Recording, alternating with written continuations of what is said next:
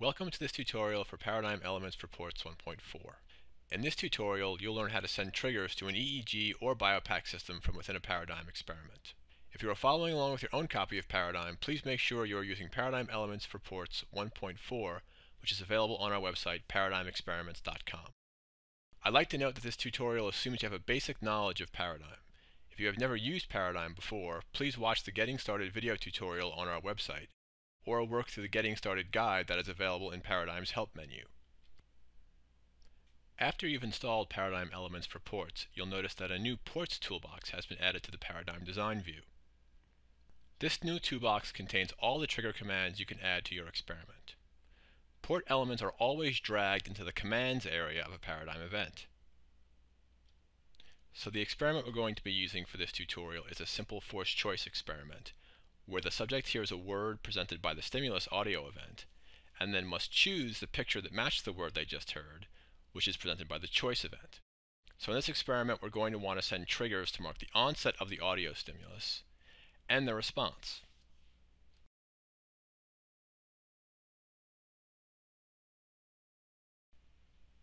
Okay, so the first thing we should do is configure the port we're going to use to send triggers to our data collection device. Typically, you'll be using the parallel port to communicate with a BioPAC or EEG system. So let's enable the parallel port device by opening Paradigm's Device Manager and enabling the parallel port.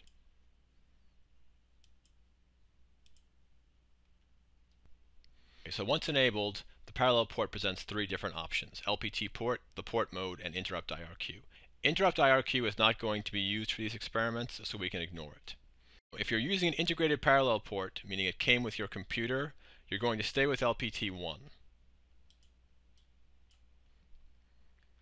If you've added a parallel port card to your computer, those will typically use LPT3. If Paradigm is still having trouble finding your parallel port, you may want to try LPT2 or 4. Some parallel port cards are not compatible with Paradigm, and you should consult the support page of our website for more information about that.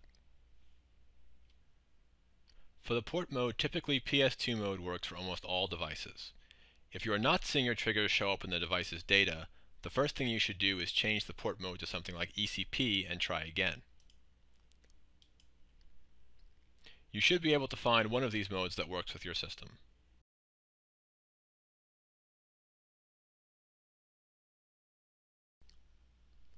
Now that the parallel port has been configured, the first thing to do is add a begin session element to your experiment. Begin session is what establishes communication between Paradigm and your EEG or BioPAC system. Begin session is typically added to the experiment's command area. So to do that, first I'm going to click on the top of the event sequence, and then drag a begin session element into the experiment.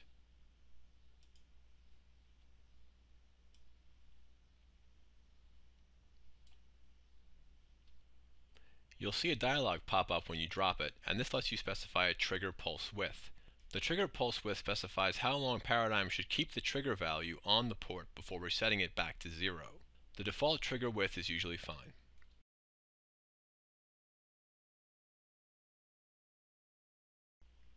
So now Paradigm will establish communication with our data collection device when the experiment starts. Next we want to add some triggers. We'll start by adding a trigger that will mark the onset of our audio stimulus, which is being presented in the stimulus event. So I'll click on the stimulus event and drag a send marker element into its command area. Now when you drop it, you'll see a dialog pop up. This is where you'll specify the trigger, which can be between 1 and 255, and the port that this trigger should be sent on.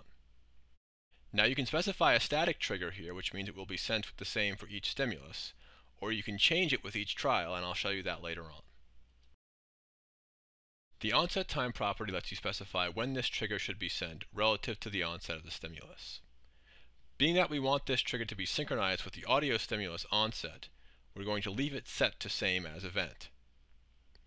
Finally, we're going to leave the port type and port name as the default, which is the parallel port. But note that you could change it to another port if needed.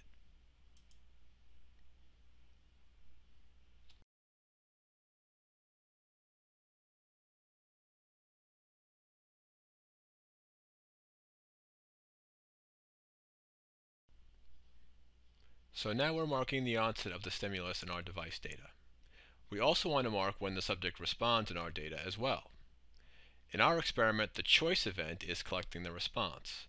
So I'll click on that event, and then I'll drag a send response element into it.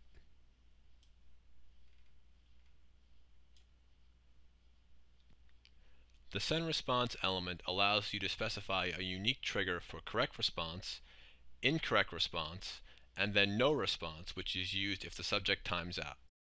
So I'll specify three unique triggers.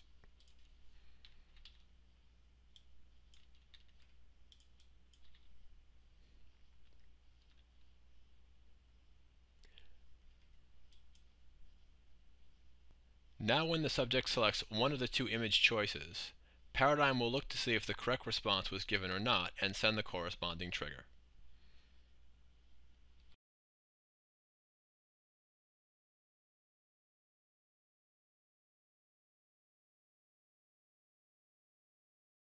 But now I want to show you how to send a unique trigger for each stimulus in this block. To do that, we're going to be using Paradigm's connection feature, which you should be familiar with. So let's go into the trial table view and we'll first create a column to hold our unique triggers.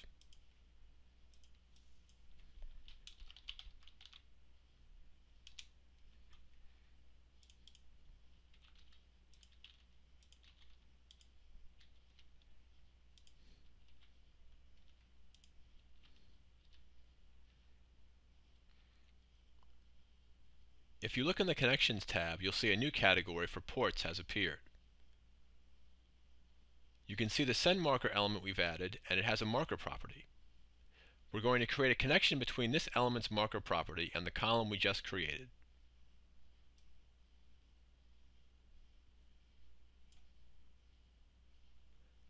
So now when this event runs, Paradigm will look into this column to get the corresponding device trigger for the current stimulus.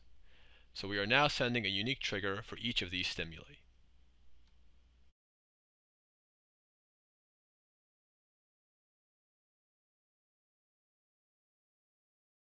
It's often the case that you'll want to send multiple triggers during a long duration stimulus like a movie or a sound.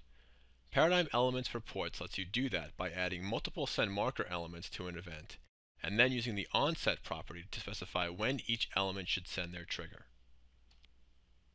So let's add two more send marker elements to our stimulus event, so we can mark the onset of the stimulus and two more events that occur while it's being presented.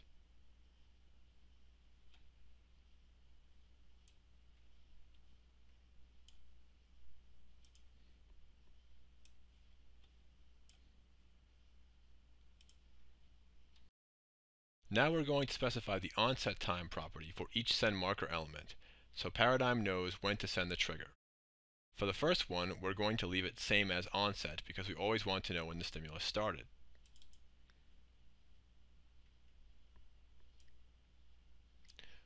For the second, we'll specify an onset time of 50 milliseconds.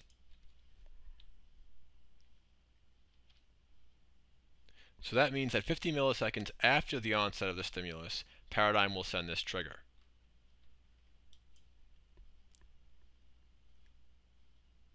And finally, for the third, we'll specify an onset time of 100 milliseconds. And again, that means that after 100 milliseconds, Paradigm will send this trigger.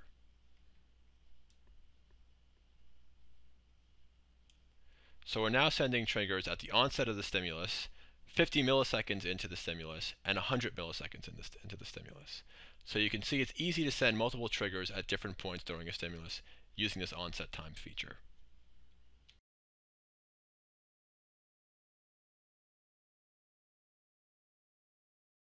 Paradigm Elements for ports allows you to send triggers to multiple devices simultaneously. So for instance, suppose you wanted to send a trigger to both your EEG system and your BioPAC, and your EEG system was connected using a network connection, and the BioPAC was connected to the parallel port. To do that, you would add two send marker elements to an event.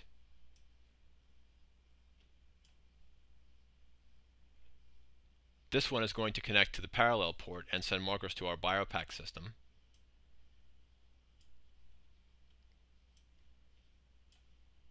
And this one is going to connect to the network port and send markers to the EEG system.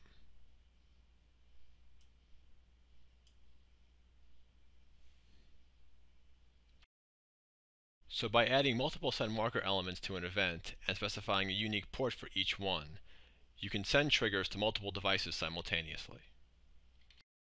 Thank you for watching.